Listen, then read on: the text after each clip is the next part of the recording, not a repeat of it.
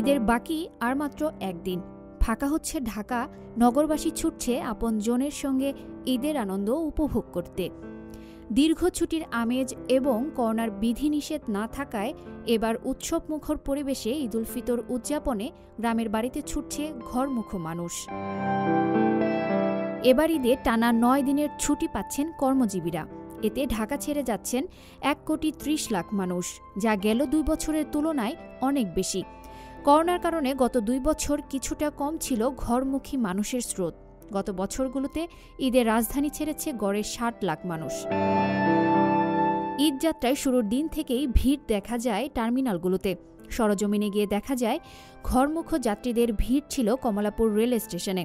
ট্রেনের অপেক্ষায় টার্মিনালে যাত্রীরা আবার কেউ কেউ ক্লান্ত হয়ে ঘুমিয়ে পড়েছে সেখানেই। এদিকে ভোর থেকে বাস টার্মিনালগুলোতে ছিল ঘরমুখ মানুষের ভিড়।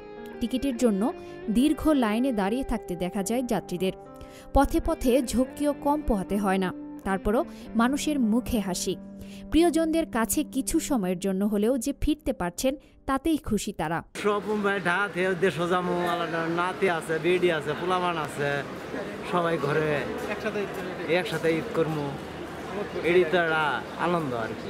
যাওয়াটা কষ্ট হলে ঈদে আনন্দের বাড়ি যেতেছি সবার সাথে একসাথে ঈদ করব করে অনেক মজা। এবারের ঈদ যাত্রায় কিছুটা স্বস্তি মিলছে বলে জানান যাত্রীরা। যে আমাদের জার্নিটা এত বেশি গ্যাদারিং দেখছি না এত বেশি ঝামেলাও দেখছি না। সবচেয়ে বড় কথা হলো কমলাপুর স্টেশনে যে প্রশাসনিক যে একটা কাঠামো তৈরি করা হয়েছে র্যাব পুলিশ এবং ইয়ে দ্বারা এটা অত্যন্ত ভালো। সম্প্রতি একটি গবেষণায় দেখা গেছে ঈদের আগে চার দিনে প্রতিদিন গড়ে প্রায় ত্রিশ লাখ মানুষ ঢাকা ছাড়ছেন।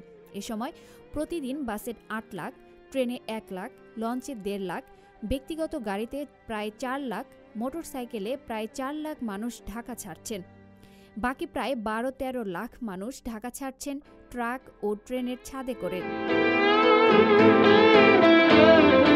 আফরিন মিম, সিএমজি বাংলা।